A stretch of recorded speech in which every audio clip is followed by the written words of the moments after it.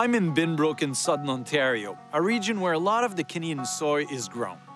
You know the blocks of tofu we can buy at the grocery store? Well, if we turned the whole Canadian soy harvest into tofu, it would mean over 10 billions of these blocks every year. Jeff Barlow still farms the same land that his ancestor did 150 years ago. He produces more than a million kilograms of soybeans every year. You and your family have been taking care of that land for a very long time, eh? Yes, my family's been here since 1843. And it's been 150 years of taking care of the soil, making sure we do everything right. And I'm doing all this so that I can give it to my kids and my grandkids, and they can farm it for another 150 years. That's my dream. When you're a farmer in Canada, technology is really part of your life, eh? It has to be. I think uh, into the years to come that technology is going to be a huge part of farming. We have to feed a lot of people.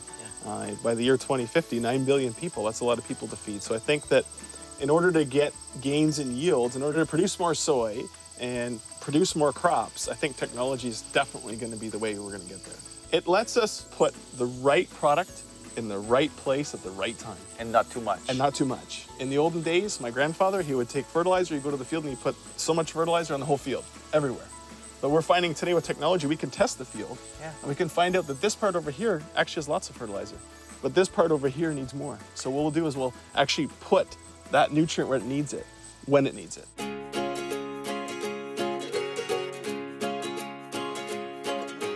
There was a lot of care taken to plant this field. It was first, uh, we, we no-till the field. We do not use any, any tillage equipment. We leave all last year's corn okay. residue yeah, on, we the, can on see the it, eh? surface. Eh? We leave yeah. it on the surface to help feed some of the bugs and some of the bacteria that grow, very healthy for the soil.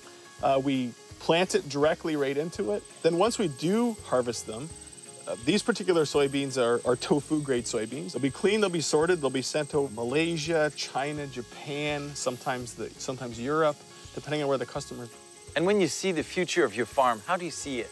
I see a bright future. I see one that my kids can participate in, one that they're worried about soil health and sustainability and listening to our customers because we're the best. And I think my kids understand that and they want to continue that tradition and be the best.